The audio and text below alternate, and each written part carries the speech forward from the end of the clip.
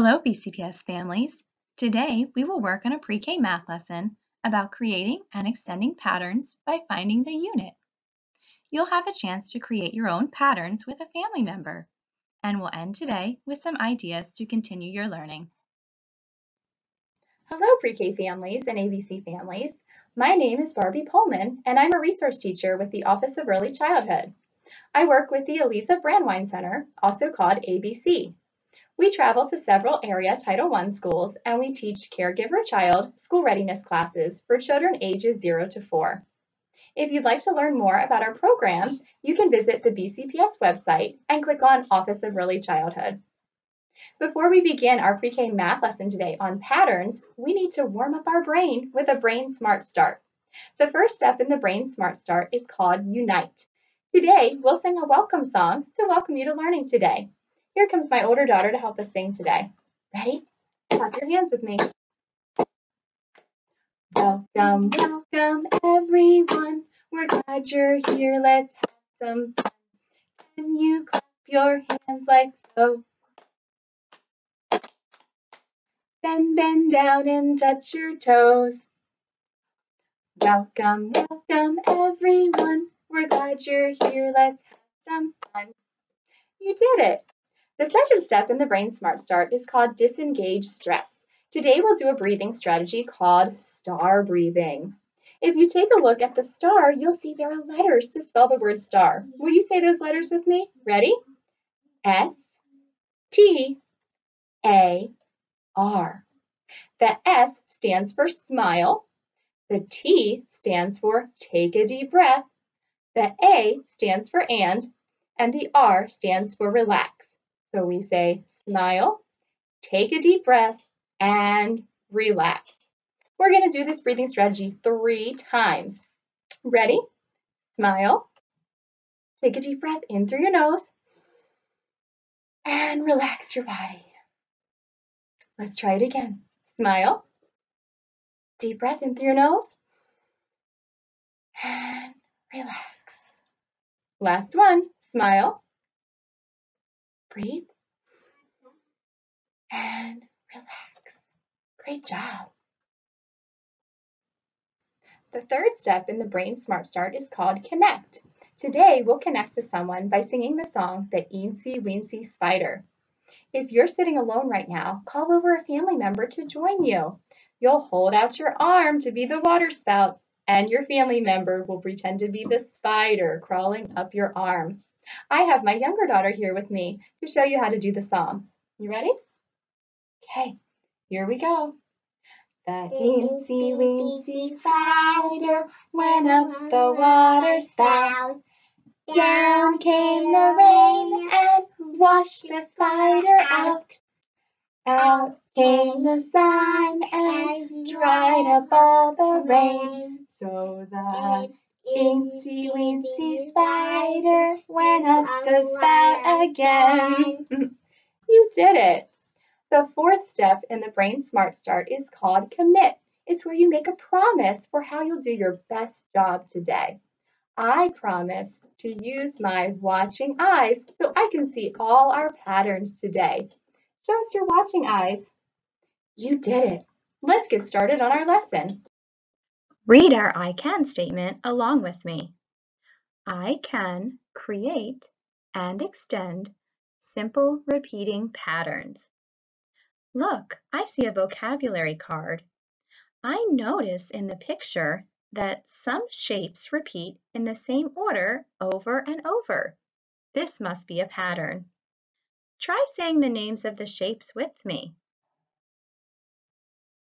Triangle, circle, triangle, circle, triangle, circle, triangle, circle. You did it! Learning all we can about patterns will help us to be better mathematicians as we grow. Let's see if we can figure out what we'll be doing with these patterns today. We read that we will create patterns today. Create means to make or build. Have you ever built a castle out of sand or mud or even Play-Doh? That's creating. What else have you created? We can create patterns in many ways. In this picture, I created a pattern with two colors, blue and red. It goes blue square, red square, blue square, red square. We read that we will extend patterns. Extend means to add on to something that is already there or to make it longer. Thumbs up if you've ever built a tower out of blocks. Maybe you went back to the tower later and you added more blocks to it. That's extending. I extended the pattern in the box by making it longer. I added the colored shapes that come next. Blue square and red square. Hello, boys and girls. We're going to sing a song today about a creature who makes patterns. It's a song that you know very well. As I sing the song today, I'm going to leave out two of the words. See if you can fill in the missing words. The song is called The Eensy Weensy Spider. Here comes Mr. Spider to help us sing today. Are you ready? Let's try it. The eensy weensy spider went up the water spout. Down came the rain and washed the spider out. Out came the sun and dried up all the rain. So the eensy weensy spider went up the spout again. You did it. You filled in the missing words in our song. Mr. Spider is here with us today because spiders build their own homes called webs. Spiders create a web by spinning silk. As the silk is spun, it creates a pattern. Take a look at the pattern on the web. Today, we will learn about patterns. We can find patterns all around us. Take a moment to think of a pattern that you've seen in your home before. I went on a pattern hunt in my home. Here are the patterns that I found. I noticed that this blanket had a pattern. I saw the colors red and black repeating on it. Look, red stripe, black stripe, red stripe, black stripe. I looked through our toys and I found this toy zebra. Do you see a pattern on the zebra? If you said he has colors of black and white, black and white repeating, you were right. His stripes make a pattern. I love to do crafts. I created this shooting star craft. Do you notice a pattern on it? I used the colors blue and red to make a pattern. It goes blue, red, blue, red, blue. Next would be red. My family loves to play games.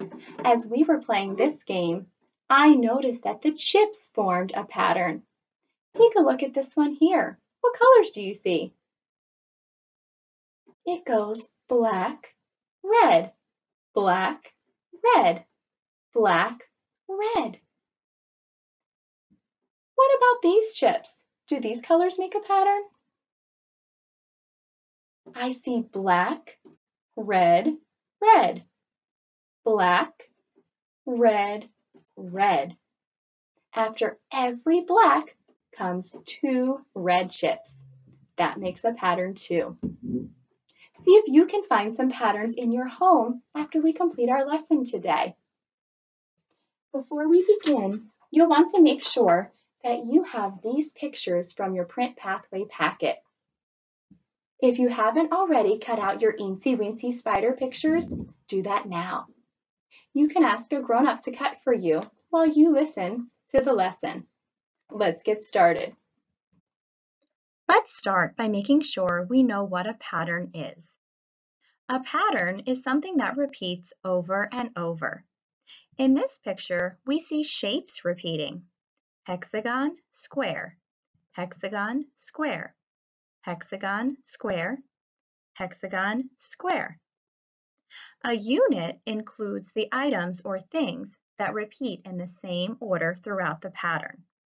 In this pattern, there are two shapes, hexagon and square. The hexagon comes first and then the square.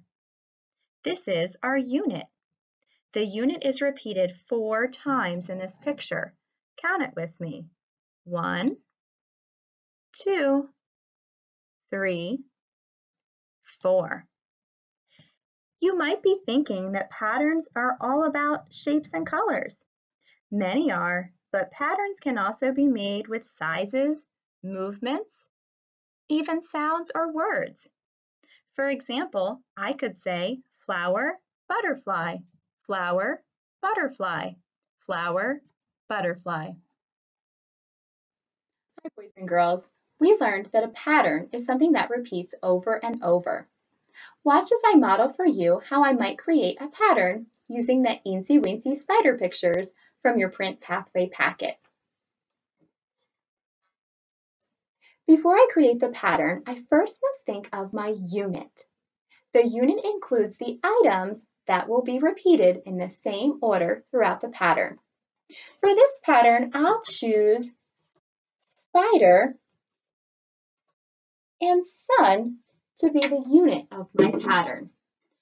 First comes spider, second comes sun. To make this into a pattern, I must repeat these items in the same order. Watch. Spider, sun, spider, sun. To check that I completed my pattern correctly, it's helpful to say the names of the pictures. Try it along with me. Spider, sun, spider, sun, spider, sun. That sounds right. This is an A-B pattern. When we say A, that represents the spider. When we say B, that represents the sun. Say the letters along with me. A, B, A, B, A, B. You did it. Now I'll model for you how I might make a different AB pattern using different pictures from the packet today. Watch as I remove my pictures. I'm putting them in separate piles to keep them organized. That makes it easier for me to find them when I need it. This time, I'm going to make my unit be rain sun. To make this into a pattern, I repeat the unit by doing rain first and then the sun. Ready? Rain, sun, rain, sun. If I wanted to make the pattern longer by extending it, I would just repeat my unit again. Rain, sun. I extended my pattern. To check that it's right, it's helpful to say the names of the pictures. Let's do it together. Rain, sun, rain, sun, rain, sun, rain, sun. It sounds right. This is also an A-B pattern. This time, A represents rain and B represents sun. Let's say the letters. A, B, A, B, A, B, A, B. You did it. Now it's your turn to help. I'm going to create a new pattern for you, and it's going to be your job to figure out the unit of the pattern. Let's see if I can trick you. Okay, I'm going to create the new pattern. Here it comes.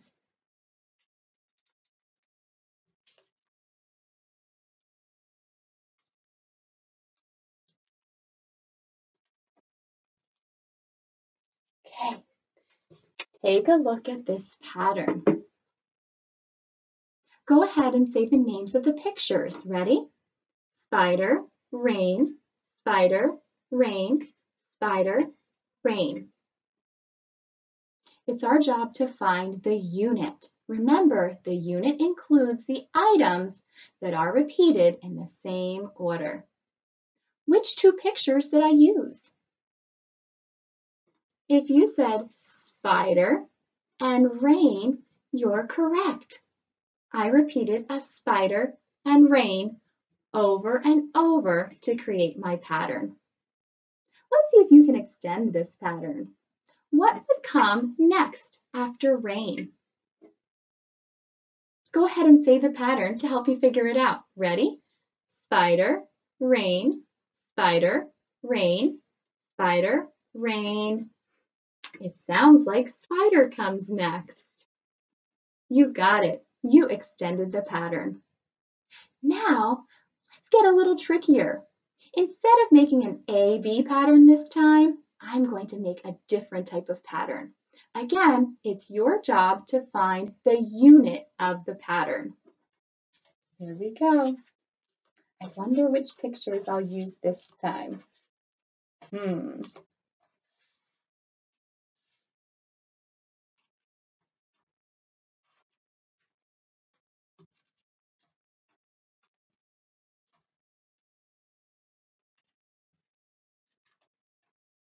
Okay, almost ready to show you.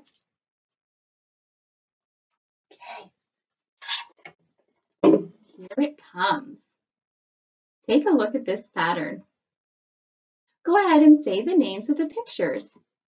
Rain, spider, sun. Rain, spider, sun. Rain, spider, sun. Hmm, we need to figure out the unit of this pattern. To figure out the unit, we look for the items that have been repeated. Which items did I use today? You're right, I used rain, spider, and sun. Those three pictures were repeated in the same order throughout the pattern. You found the unit. Now, can you find what would come next in the pattern? That means you'll extend the pattern for me. Go ahead and say it again to see what comes next. Rain, spider, sun. Rain, spider, sun. Rain, spider, sun. It sounds like rain would come next. Let's place rain and we'll check our work. Hmm.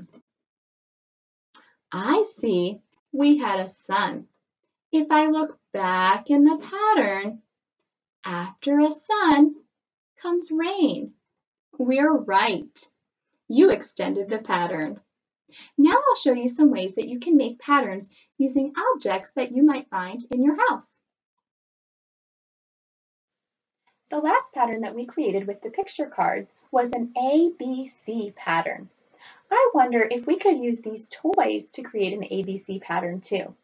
I have some blocks, cars, and jacks. I know to create an ABC pattern that I'm going to need to use three different objects, A, B, C. Let's see if we can do it. I'll start with a block, a car, and a jack. This will be the unit of my pattern. I'm going to repeat block, car, jack in the same order to create my pattern today. Next will come block, car, jack. Let's repeat it again. Block, car, jack. Now we'll check our work to make sure we've done the pattern correctly. Ready? Block, car, jack, block, car, jack, block, car, jack.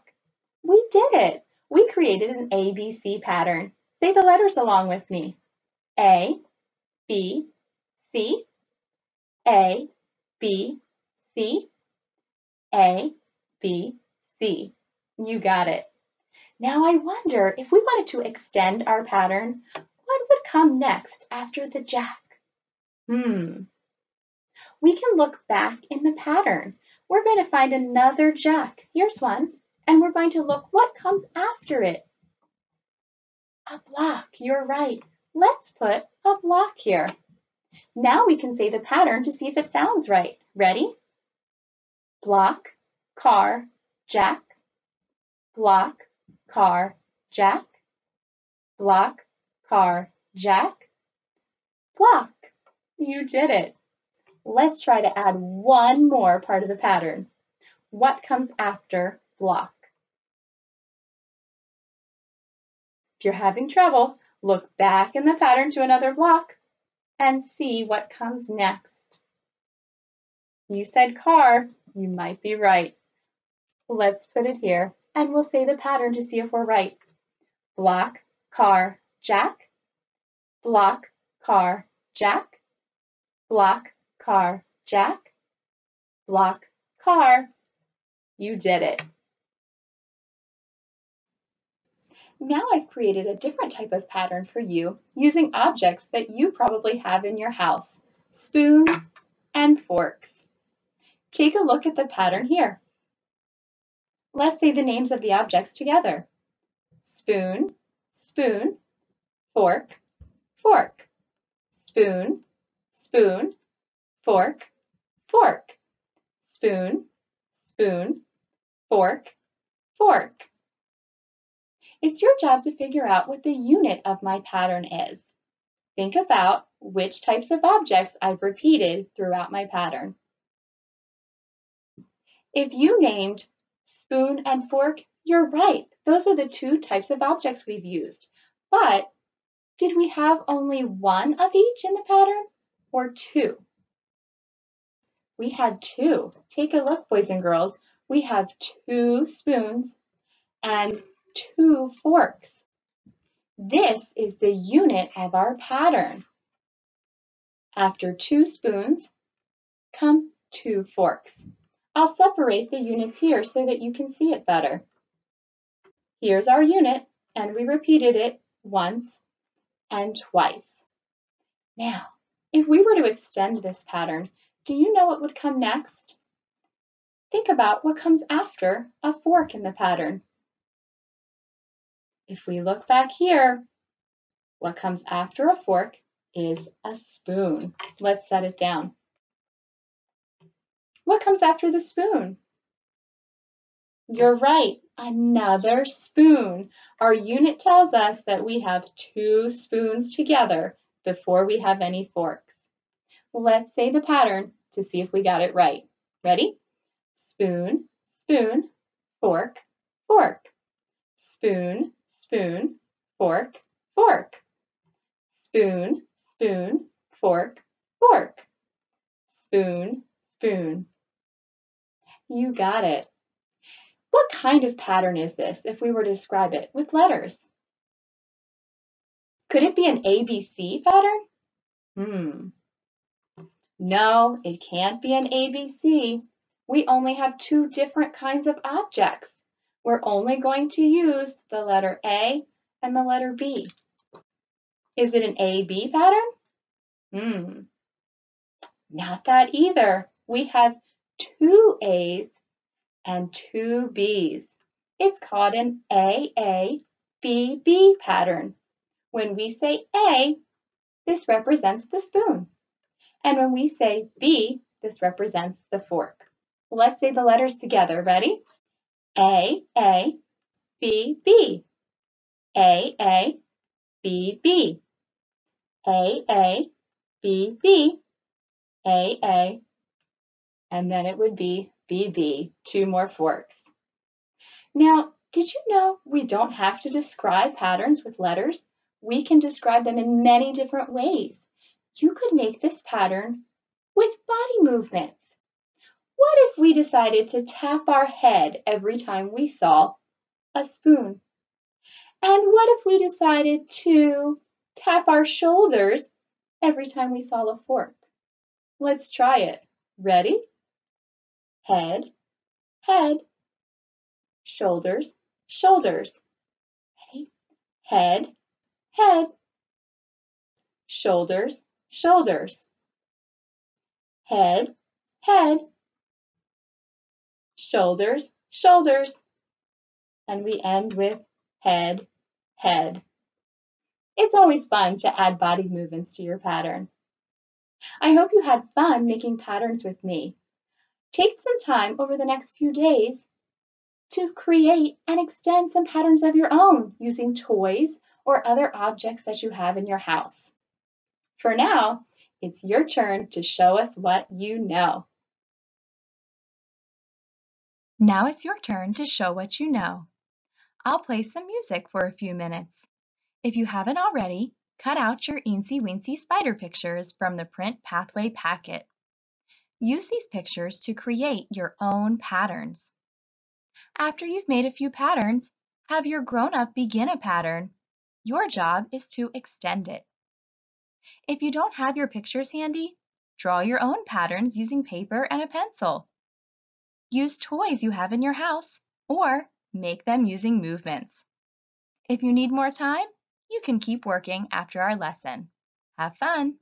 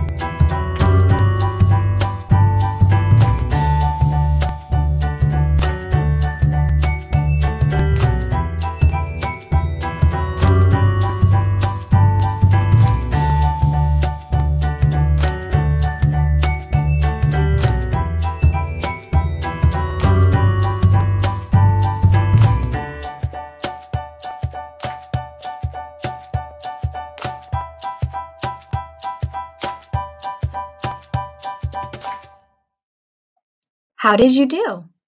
If creating patterns was tricky for you, work on creating only A-B patterns for now.